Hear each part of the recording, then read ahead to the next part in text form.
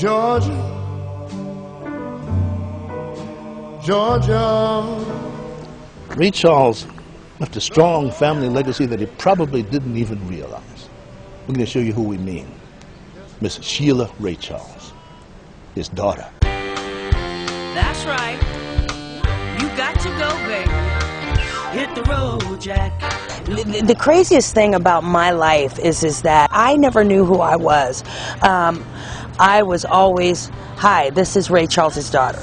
And that's a hell of a lot of pressure on an eight-year-old child who doesn't even have the concept of who Ray Charles really is. Ray, the world loved Ray Charles. I, you know, I never knew who he was until I was 12. And so for me to have to live up to his identity without even having a real relationship with him was very hard for me. And so I got a very good relationship with crack cocaine. It was my best friend. I was lost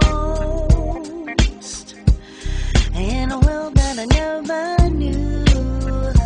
And I could relate when I saw the movie Ray with how my father did that. That was one reason why, one of the reasons, as, as crazy as it seemed, that I stayed in my addiction. I had something in common with my father. Just look at my. Sheila Raye Charles is the kind of person that really excites me because she's all feeling. She's uh, what you see is what you get. I'm the meanest damn woman you ever will see. I mean, if you look at my life, I, six years ago, I was sleeping on somebody's crack floor trying to run from the feds. It brings a tear. I mean, God really laid it heavy to me on my heart to be transparent, to tell the truth, to not hide anything from the world. Yes, I'll drown. Whoa, yes, in my own tears. Through my addiction, um, you know, um, there's a pit of hell that yes, it is. I don't think is describable. Um,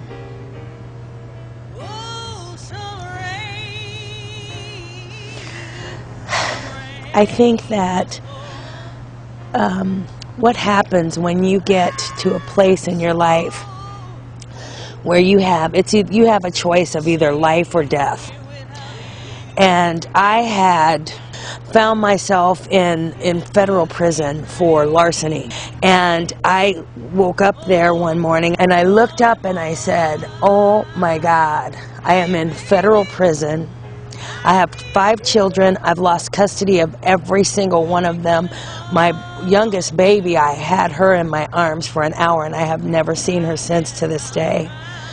And um, I said, God, if this is how I have to live, if this is what is in store for me for the rest of my life, then just take it. Just take me off this planet. I, I don't want to be here. I don't want to live this life anymore because I have no value. Um, my mom's dead. My father won't talk to me anymore. You know, he tried everything that he could to get me out of this. You know, hundreds of thousands of dollars to the best attorneys. He did everything he could in his way. And sometimes I just wanted him to talk to me, and you know, that wasn't my dad's way. He just wasn't like that. And so when I said, God, if you will just relieve me from this life, I'll know that you are God and you're real. I need you, baby, to please, please come on home. Meeting the majority of one's brothers and sisters for the first time at her father's funeral was quite emotional. Um, you know, I think that one of the things um, that has changed my life is the fact that I have gotten to embrace my brothers and sisters that I didn't grow up with, that I didn't know anything about. Because I always believed all my life that it was just Ray Jr., Bobby, and David, and then Evelyn. To find out that there was seven other children, it was shock. You give your hand to me, and then you say hello, and I can speak. My heart is beating so. This documentary is important to me because it shows that our father had kids. Up until now, you don't hear anything about us. And we've been kind of like put to the side and, and um, not really so much on his part, but, um, well, he's gone now. you know. So, not so much him, but you know, other people that don't want us known, don't want the public to know that we exist. You are so beautiful.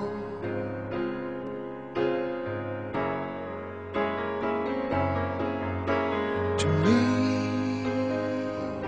Through her triumphs and a conscious contact with God, she shows others by example what can be done. No matter how great your fall is, there's nothing that you cannot rise up to and rise above and rise from. Every single human being on this planet of Earth has the ability to tap into that power and come up out of a hell that they could never think, believe that they could. And that's what's important for me for this documentary and for my life story. I mean, the whole thing that's that's just coming together. And I need you guys to know. I need that one person or a million people to know there's nothing that we can't overcome. And it all has to do with love. Love covered a multitude of everything. you are so beautiful.